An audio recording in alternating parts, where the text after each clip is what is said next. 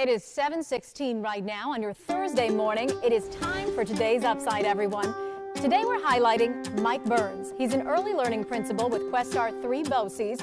He's also the author, though, of Nervous Rex. It's a children's book about dealing with anxiety and stress that we feel. So he's writing these children's books centered around mental health strategies, and he has tons of experience. I want to welcome Mike Burns to the studio. Thanks for joining us, yeah, Mike. thanks so much for having me. So I want to talk a little bit about your history and your experience with especially elementary school students. How have you seen this boost in anxiety appear throughout the past couple of years? Um, so I've been in education for about 20 years. I taught elementary school in Voorheesville for 15 years wow. before jumping into administration. So I've, I've, I've been through K-12. Now I'm working with the little ones in pre-K. And, you know, especially through COVID, um, I think everyone in education has seen an uptick in, you know, mental health, especially anxiety, um, not only in little kids, but, you know, teenagers, even, even adults.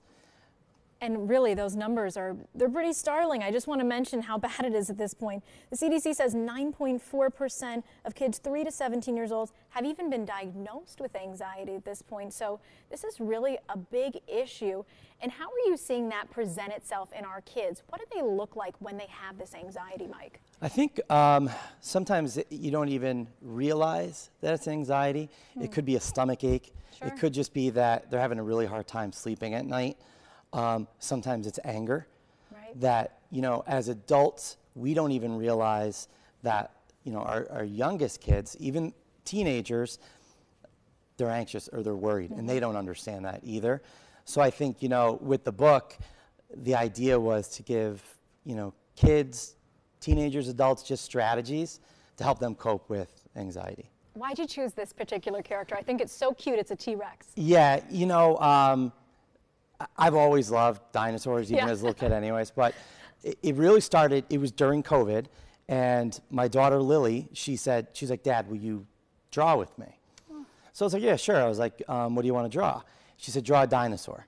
So I drew a dinosaur, not this one. Mine does not look like this at all. And as I was doing it, I looked at her, and she looked nervous to me. Mm. And I said, um, "Are you nervous?" And I'm drawing, and I looked, I go like a little nervous Rex.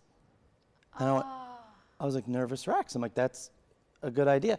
So I just started writing as much as I could, uh, not thinking. It would turn into an It would turn book. into this. Um, wow. And that was kind of, that was kind of it. And this book is interesting in the sense that you mentioned this, giving people some strategies. Before we go to break, can you tell us one of those? Yeah, um, and my daughter tells me this sometimes too when she sees it in me. Uh, stop, so slow down and pause, mm. take deep breaths, observe what's happening, proceed to what's next.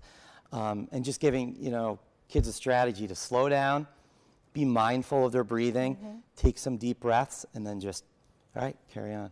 This book has also got to be great for parents. So if you're reading this at bedtime, I think we could all use this as well. Yes, I, th I think we could all use it. It's not just for kids. So how can people get a hold of the book, Mike? Um, it's in area bookstores, uh, Bookhouse in Stuyvesant Plaza, Amazon.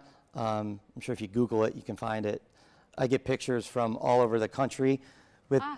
parents sending me photos with their kids that have it. I have no idea how they got it, but wow. it's great to see. Touching a lot of lives. Thanks so much for coming here today, Yeah, Mike. thank you. Appreciate it.